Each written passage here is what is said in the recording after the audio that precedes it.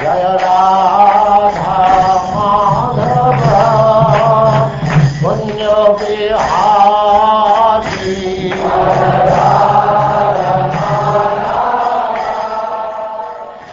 And now chapter 86. Arjun kidnaps Subhadra and Krishna blesses his devotees.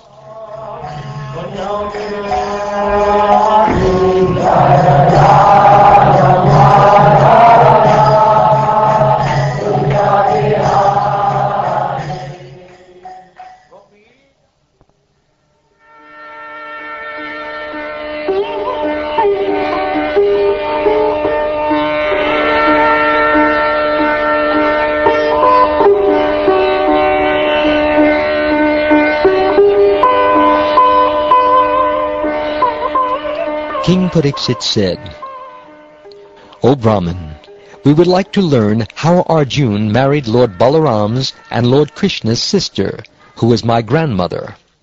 While traveling far and wide visiting various holy places of pilgrimage, Arjun came to Prabhasa. There he heard that Lord Balaram intended to give his maternal cousin Subhadra to Duryodhana in marriage, and that no one else approved of this plan. Arjun wanted to marry her himself, so he disguised himself as a renunciant, complete with triple staff, and went to Dwarka. He stayed there during the monsoon months to fulfill his purpose. Lord Balaram and the other residents of the city, not recognizing him, offered him all honor and hospitality. One day Lord Balaram brought him to his home as his invited dinner guest and Arjun ate the food the Lord respectfully offered him. There he saw the wonderful maiden Subhadra, who was enchanting to heroes. His eyes opened wide with delight, and his mind became agitated and absorbed in thoughts of her. Arjun was very attractive to women, and as soon as Subhadra saw him, she wanted to have him as her husband. Smiling bashfully, with sidelong glances, she fixed her heart and eyes upon him. Meditating only on her, and waiting for the opportunity to take her away, Arjun had no peace. His heart trembled with passionate desire. Once, on the occasion of a great temple festival in honor of the Supreme Lord, Subhadra rode out of the fortress-like palace on a chariot, and at that time the mighty chariot warrior Arjun took the opportunity to kidnap her. Subhadra's parents and Krishna had sanctioned this. Standing on his chariot, Arjun took up his bow and drove off the valiant fighters and palace guards, who tried to block his way. As her relatives shouted in anger, he took Subhadra away just as a lion takes his prey from the midst of lesser animals.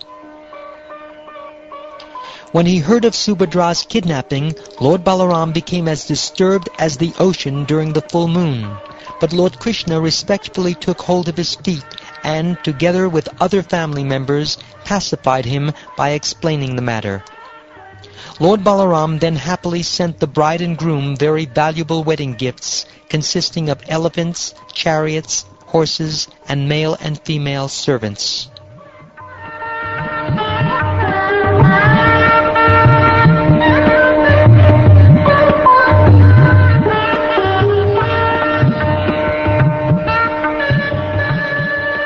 There was a devotee of Krishna's known as Shrutadev, who was a first-class Brahmin. Perfectly satisfied by rendering unalloyed devotional service to Lord Krishna, he was peaceful, learned, and free from sense gratification. Living as a religious householder in the city of Mithila, within the kingdom of Videha, he managed to fulfill his obligations while maintaining himself with whatever sustenance easily came his way. By the will of Providence, he obtained each day just what he needed for his maintenance, and no more. Satisfied with this much, he properly executed his religious duties. Similarly, free from false ego, was the ruler of that kingdom, my dear Pariksit, a descendant of the Mithila dynasty named Bahulashva. Both these devotees were very dear to Lord Achyuta. Pleased with both of them, the Supreme Personality of Godhead mounted his chariot, which Daruka had brought, and traveled to Videha with a group of sages. Among these sages were Narad, Vamadev, Atri, Krishna Dvaipayana Vyas, Parasuram, Asita, Aruni, myself, Brihaspati, Kanva, Maitreya, and Chyavana. In every city and town the Lord passed along the way, O king. The people came forward to worship him with offerings of arghya water in their hands, as if to worship the risen sun surrounded by planets. The men and women of Anarta, Danva, Kurujangala, Kanka, Matsya, Panchala, Kunti, Madhu, Kekaya, Koshala, Arana, and many other kingdoms drank with their eyes the nectarian beauty of Lord Krishna's lotus-like face, which was graced with generous smiles and affectionate glances. Simply by glancing at those who came to see him, Lord Krishna, the spiritual master of the three worlds, delivered them from the blindness of materialism.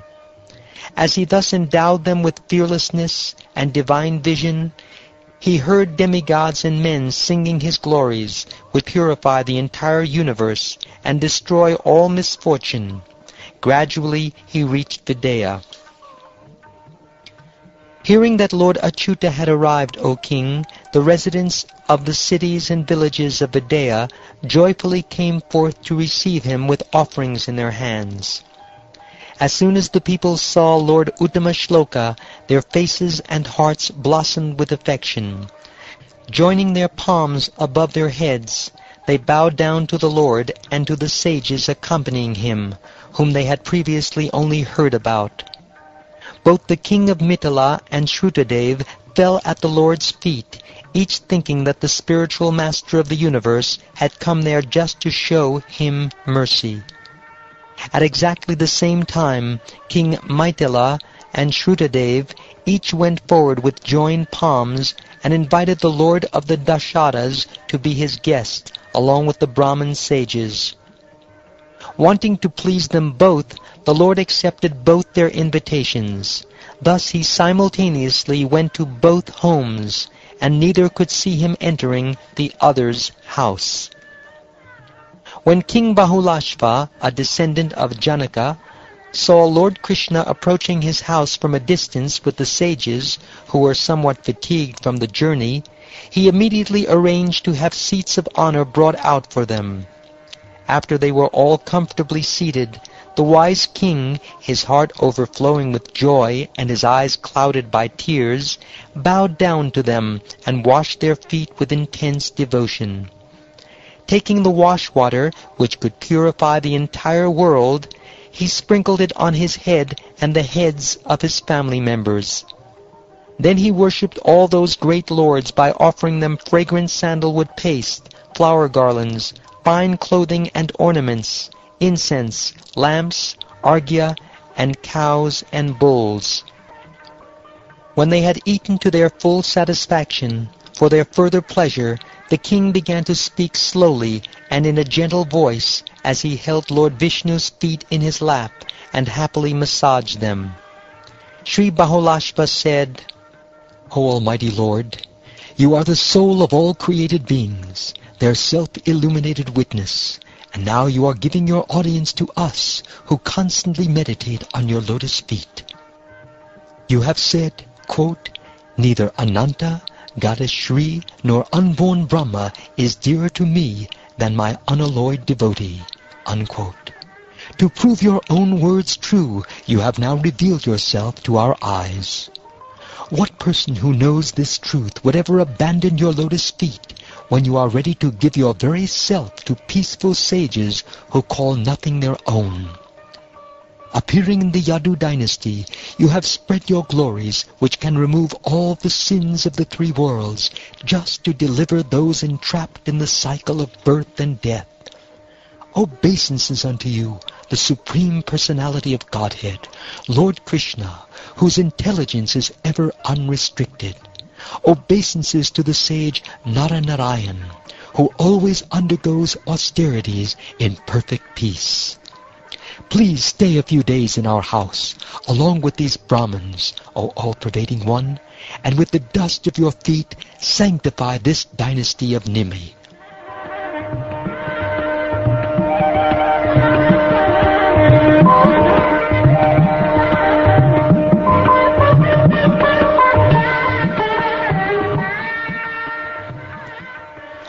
Thus invited by the king, the Supreme Lord, sustainer of the world, consented to stay for some time to bestow good fortune on the men and women of Mithila. Shrutadev received Lord Achyuta into his home with as much enthusiasm as that shown by King Bahulashva. After bowing down to the Lord and the sages, Shrutadev began to dance with great joy, waving his shawl. After bringing mats of grass and darbha straw, and seating his guests upon them, he greeted them with words of welcome. Then he and his wife washed their feet with great pleasure. With the wash water, the virtuous Shrutadev copiously sprinkled himself, his house, and his family. Overjoyed, he felt that all his desires had now been fulfilled. He worshipped them with offerings of auspicious items easily available to him, such as fruits, ushira root, pure nectarine water, fragrant clay, tulsi leaves, kusha grass, and lotus flowers. Then he offered them food that increases the mode of goodness. He wondered, how is it that I, fallen into the blind well of family life, have been able to meet Lord Krishna? And how have I also been allowed to meet these great Brahmins, who always carry the Lord within their hearts? Indeed, the dust of their feet is the shelter of all holy places. When his guests were seated comfortably, having each received a proper welcome, Shrutadev approached them and sat down nearby with his wife, children, and other dependents. Then, while massaging the Lord's feet, he addressed Krishna and the sages. Shrutadev said, It is not that we have attained the audience of the Supreme Person only today, for we have in fact been associating with him ever since he created this universe with his energies and then entered it in his transcendental form. The Lord is like a sleeping person who creates a separate world in his imagination and then enters his own dream and sees himself within it you reveal yourself within the hearts of those persons of pure consciousness who constantly hear about you, chant about you, worship you, glorify you, and converse with one another about you. But although you reside within the heart, you are very far away from those whose minds are disturbed by their entanglement in material work. Indeed, no one can grasp you by his material powers for you reveal yourself only in the hearts of those who have learned to appreciate your transcendental qualities. Let me offer my obeisances unto you. You are realized as the Supreme Soul by those who know the absolute truth, whereas in your form of time you imposed death upon the forgetful souls. You appear both in your causeless spiritual form and in the created form of this universe, thus simultaneously uncovering the eyes of your devotees and obstructing the vision of the non-devotees. O Lord, you are that supreme soul, and we are your servants. How shall we serve you? My Lord, simply seeing you puts an end to all the troubles of human life.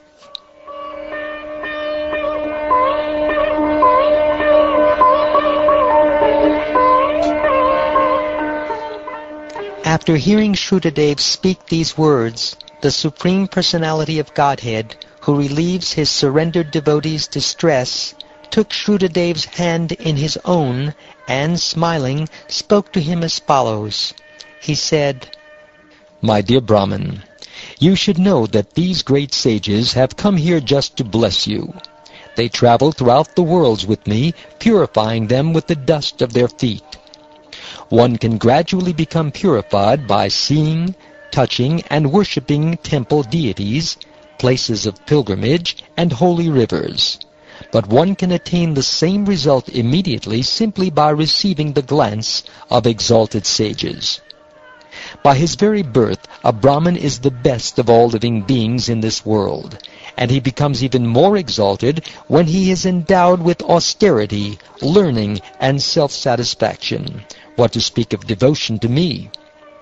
Even my own four-armed form is no dearer to me than a Brahman. Within himself a learned Brahman comprises all the Vedas, just as within myself I comprise all the demigods. Ignorant of this truth, foolish people neglect and enviously offend a learned Brahmin, who, being non-different from me, is their spiritual master and very self. They consider worshipable only such obvious manifestations of divinity as my deity form. Because he has realized me, a Brahman is firmly fixed in the knowledge that everything moving and non-moving in the universe, and also the primary elements of its creation, are all manifest forms expanded from me. Therefore you should worship these Brahman sages, O Brahman, with the same faith you have in me. If you do so, you will worship me directly, which you cannot do otherwise even with offerings of vast riches.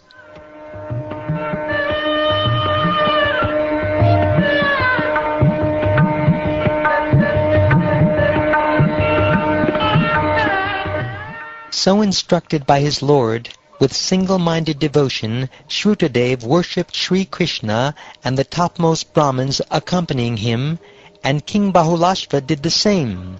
Thus both Shrutadev and the king attained the ultimate transcendental destination. O king, thus the personality of Godhead, who is devoted to his own devotees, stayed for some time with his two great devotees, Shrutadev and Bahulashva, teaching them the behavior of perfect saints. Then the Lord returned to Dwarka.